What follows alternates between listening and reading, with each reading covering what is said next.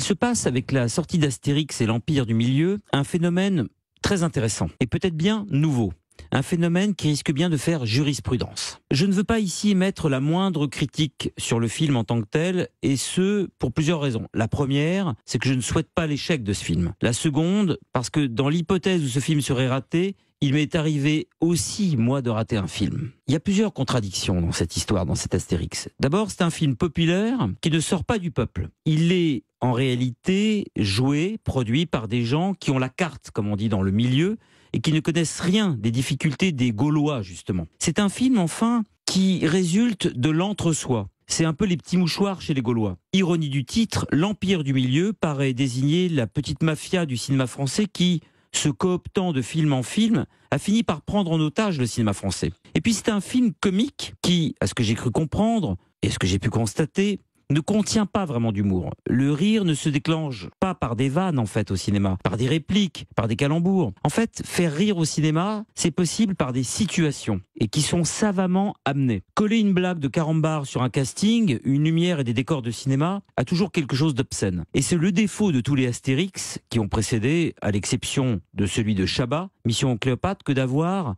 filmer des vannes. Et puis aussi, c'est un film pour les enfants qui s'adresse aux adultes. Autre contradiction. Allusion notamment au véganisme, au féminisme et j'en passe. Et puis en même temps, c'est normal, c'est un film pour adultes qui s'adresse aux enfants. Commerce oblige. Ce qui est vraiment logique. Je ne leur jette pas la pierre. C'est un long métrage, enfin, qui n'est fait que de sketchs. Autrement dit, c'est un long métrage qui est fait de bouts de courts métrages collés les uns aux autres, ce qui fait quelque chose d'extrêmement étrange, plus un patchwork. Et c'est un film qui n'a rien à dire et pire encore, rien à raconter. Quand on n'a rien à dire et rien à raconter, que fait-on? On réunit des stars dans un bocal, dans un shaker, pour combler les trous les dialogues ne valent rien, mais ceux qui les prononcent valent quelque chose, ce sont des stars. Autant essayer de coller une mouette au sol avec un chewing-gum. Tout ça n'est pas vraiment nouveau, c'est vrai, on pouvait déjà le reprocher aux précédents épisodes de la saga, en dehors du Shabbat, hein, qui est exceptionnel. Non, ce qui est nouveau, c'est le gilet jaunisme qui se développe autour de ce film. Pour la première fois, le public, les critiques et les youtubeurs attaquent un film à cause non pas de son casting, de son humour ou de quoi que ce soit, mais de son coût. Comme s'il était devenu pornographique, obscène qu'une comédie, à une époque où les Français se serrent la ceinture et ne parviennent plus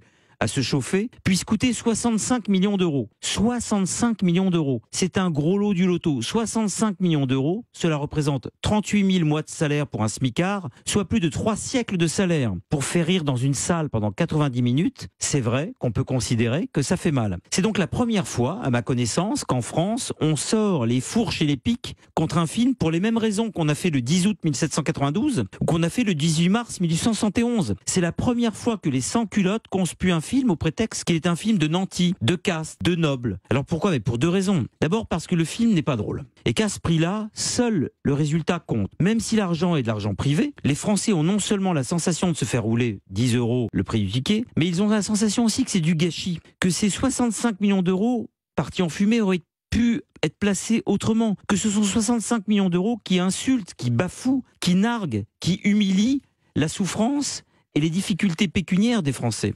Une telle réaction, c'est vrai, serait impensable en Amérique. Mais nous sommes en France et il y a une réaction sur le coût des films et ça fait jurisprudence, c'est la première fois que ça arrive. Et puis aussi, deuxième raison, il faut le dire, parce que Guillaume Canet, le réalisateur, est venu supplier le public, par médias interposés, de venir voir son film au prétexte qu'un bide signerait la mort de ce genre d'entreprise.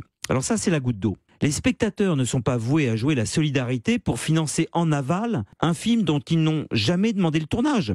D'ailleurs, il est fort à parier que si on les avait consultés, ils auraient sans doute eu une meilleure idée que de confier à Canet la caméra pour faire un Astérix. On ne fait pas de comédie quand on n'a pas d'humour. Peut-être que si on avait fait un sondage, mais les gens, les producteurs sont souvent plus malins que les autres, les Français auraient peut-être dit bah, demandez à Fifi et sa bande. Eux, ils auraient peut-être pu réussir un Astérix. C'est ainsi la première fois qu'on demande un effort national au peuple français, quasiment un effort de guerre, pour essuyer un accident industriel artistique, une bévue cinématographique, sous le, prétexte qu'un type est incapable de faire le film que des producteurs lui ont demandé, alors que nous, on lui a pas demandé de faire un film qui nous aurait peut-être intéressé fait par quelqu'un d'autre. Plutôt que de se remettre en question, de reconnaître qu'il s'est éventuellement planté, et a peut-être raté son film, Canet en appelle à la solidarité. À votre bon cœur, messieurs, dames. C'est plutôt dans un remake de l'Abbé Pierre qu'on l'aurait attendu. Il est fou qu'après 65 millions d'euros foutus à la poubelle, cet enfant gâté continue à faire la manche. Confier Astérix à Canet, c'est un peu comme confier le plafond de la Sainte-Chapelle la chapelle Sixtine à un dessinateur industriel. Déjà, sur le papier, ça sentait pas bon. Cela dit, Vincent Cassel, José Garcia et Gilles Lelouch, comme toujours, sont excellents. Il fallait par tout à